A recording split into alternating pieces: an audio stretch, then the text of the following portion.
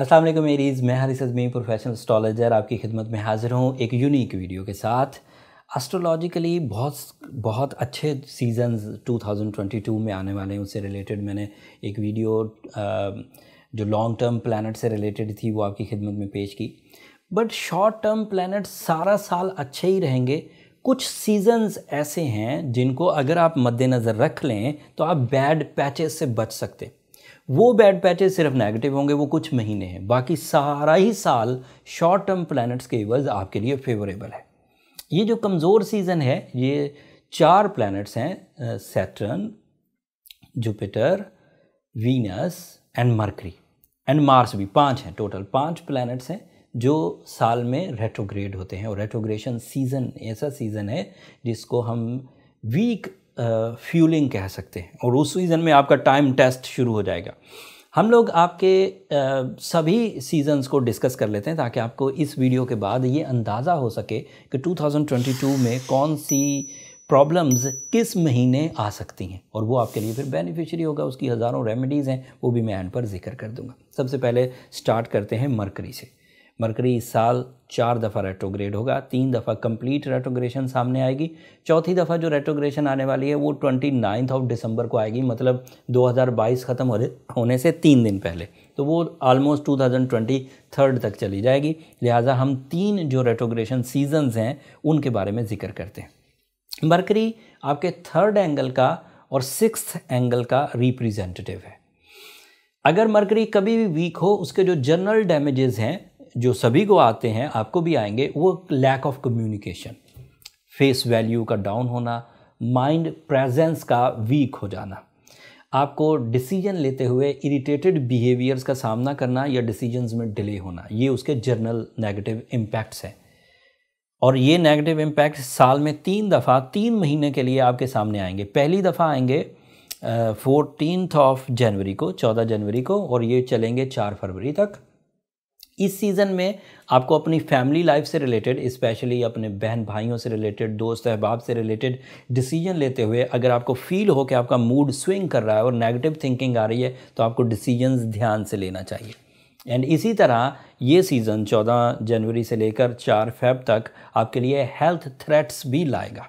ये आपके six angle का भी रिप्रेजेंटेटिव है। Specially your mind health like anxiety over thinking fearfulness या फिर एक्स्ट्रा थिंकिंग तो इन दो सब्जेक्ट्स में ये तीन दफ़ा आपको साल में प्रॉब्लम करेगा। एक प्रॉब्लम आएगी चौदह जनवरी से फोर्थ ऑफ़ फेब तक।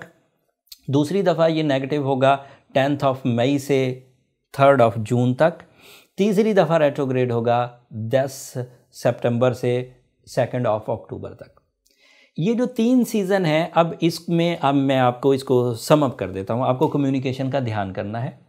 आपको अपने अज़ीज़ अकारब के लिए अग्रेसिव नहीं होना एंड आपको अपनी हेल्थ में खसूसी तवज्जो देनी। अगर आपको ये तीनों सीजन्स का पता है और उन सीज़न में जब आपको इस तरह की नेगेटिव फीलिंग्स का सामना करना पड़े तो आप बहुत आसानी से अपनी विल से या जो मैं आर्टिफिशियल रेमेडीज़ अभी आपको एंड पर बयान करूँगा, उससे आप इसे कंसीडर कर सकते हैं, ठीक कर सकते हैं रिपेयर कर सकते हैं एंड रिपेल कर सकते पीछे धकेल सकते दूसरी प्रॉब्लम आपको आएगी लव लाइफ में।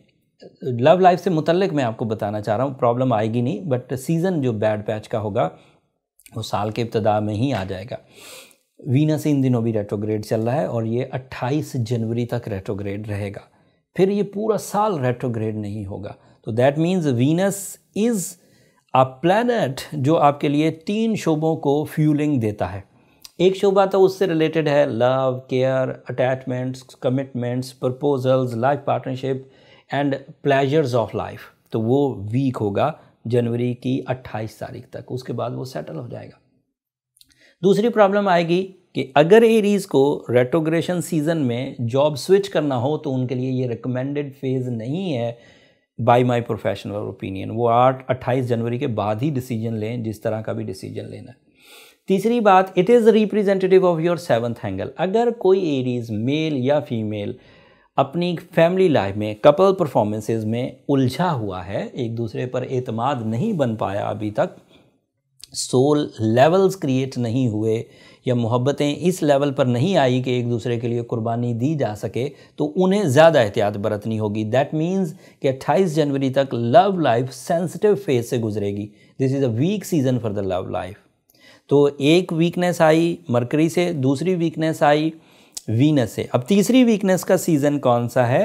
That is related to Mars और ये आपका अपना रूलिंग प्लानट है। जब भी ये कमज़ोर होएगा तो आपके लिए आपकी पर्सनालिटी डंप होगी। आपकी natural skills lack of stamina का शिकार हो जाएँगी। एंड लिटिगेशन लाइबिलिटी इंसल्ट्स या फिर मटेरियल लॉसेस की तरफ़ आपको जाना पड़ेगा. एंड अनफॉर्चुनेटली ये एक लंबे फ़ेज़ के लिए आपका जो मार्स रूलिंग प्लानट है, ये रेट्रोग्रेड होगा. ये 30 अक्टूबर से स्टार्ट होगा और फिर ये अगले साल 12 जनवरी तक रेट्रोग्रेड ही रहेगा.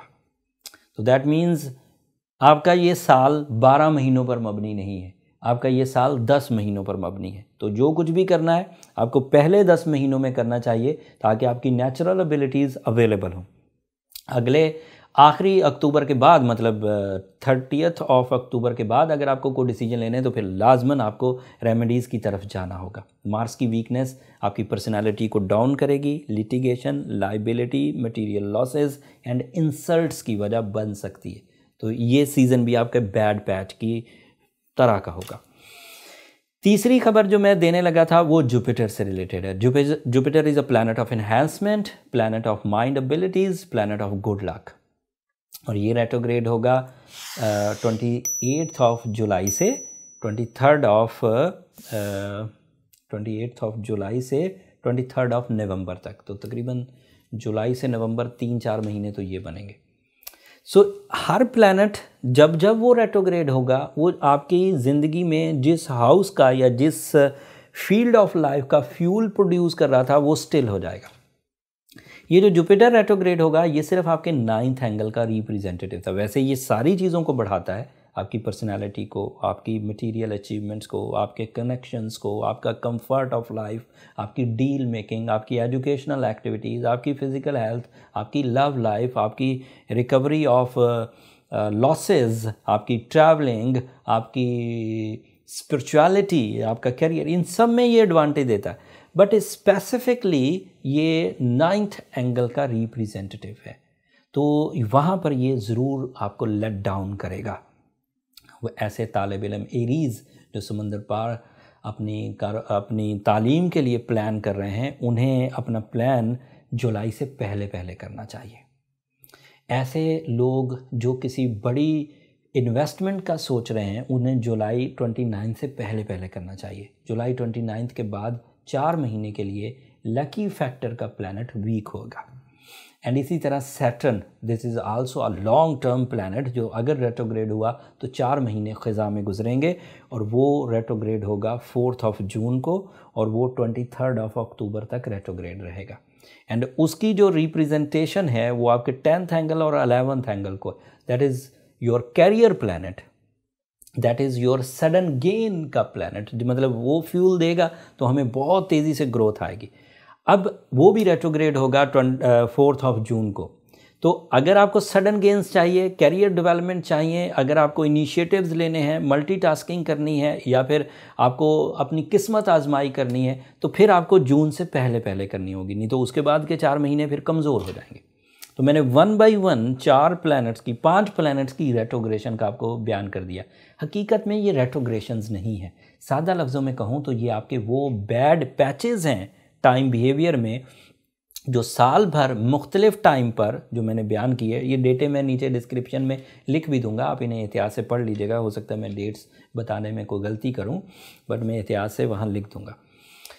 तो ये बैड पैचेस का मतलब है, ये आपके टेस्ट हैं। कभी लव लाइफ में, कभी हेल्थ में, कभी करियर में, कभी कम्युनिकेशन में, कभी ट्रैवलिंग में, कभी स्पिरिचुअलिटी में, कभी लव ये सब चीज़ों को अगर आप समझ कर चलेंगे तो जिस बैड पैच सीज़न का आपको सामना करना पड़े, उस बैड पैच सीज़न में आप तवज्जो से अगर उस कमज़ोर हालत को रिपेयर कर लेंगे तो आप ट्रैकफुल रहेंगे, आपकी तरक्की नहीं रुकेगी, आपके जज्बात में कमी नहीं आएगी, आपको स्ट्रगल नहीं करनी पड़ेगी, आपको लॉसेस फेस नहीं करने पड़ेगे, आपको इंसल्ट्स फेस नहीं करना पड़ेगी।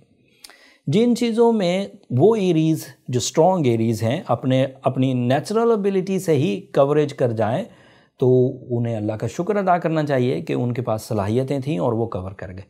कोई ऐसा एरीज हो सकता है जो इन चारों पाँचों प्लैनेट्स की रेट्रोग्रेशन में उलझ के रह जाए। उलझने का मतलब है किसी एक फ़ील्ड में तो लॉस होगा।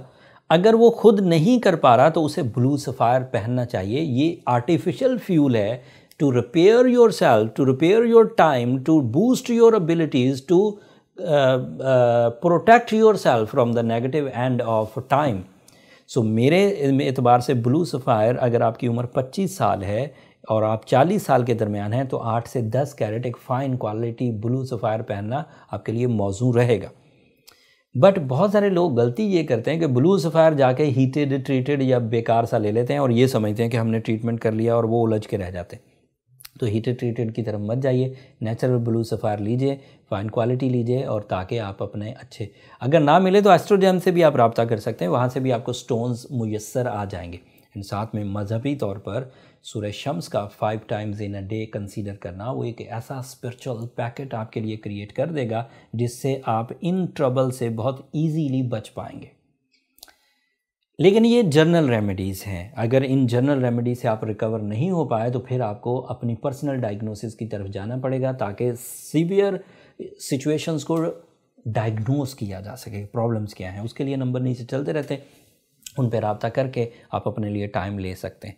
सो so, रेटोग्रेशंस मरकरी की हों या वीनस की या मार्स की या long term planet Saturn and Jupiter की ये आपके लिए अल्लाह ताला की तरफ़ से ऐसी सिचुएशंस हैं जिनको आपको फेस करना है, खंदा पेशानी से, सब्र से और अपनी अहलियत साबित करनी है। अगर आप उस कटी पतंग की तरह साबित हुए कि हवाएँ उसे जिधर को ले जाएँ तो दैट मीन्स फिर आपका कंट्रोल नहीं है टाइम पर। अगर बाहर आई और फूल खिल गए तो इसमें आपका क्या कमाल हुआ? अगर ख़ज़ा आई और आप ख़राबी की तरफ़ चले गए तो इसमें आपका क्या कमाल हुआ? ऐसा तो होना ही था। अक्लमंदी का तकाजा ये है एंड टाइम को समझने का, वक्त की नब्ज को समझने का तकाजा ये है कि आप अच्छे टाइमों में बेहतरीन परफॉर्मेंसेस करें और बुरे टाइमों में अपनी अक्ल जहानत से उन ट्रबल से बचें। मैं बीइंग अ प्रोफेशनल एस्ट्रोलॉजर जो इन्फॉर्मेशन आपको दे सकता था बैड पैचेस की, वो मैंने आपके सामने रख दी। उम्मीद करता हूँ, आप इस इन्फॉर्मेशन को मेरे इस तजर्बे से फ़ायदा उठाते हुए अपनी ज़िंदगी की इन शोबों की ख़राबियों से बच सकेंगे। और जब आप अपनी ज़िंदगी में इन ख़राबियों से बचें और इतना सा भी मुनाफा अपनी ज़िंदगी में हासिल करें, चाहे इज़्ज़त की सूरत में, चाहे पैसे की सूरत में, चाहे सेहत की सूरत में या फेस वैल्यू की सूरत में तो अपनी दुआ में हमें ज़रूर याद रखिएगा। मुझे भी, मेरी टीम को भी। बहुत मेहनत करके ये सब सिचुएशन आपकी खिदमत में पेश की हैं।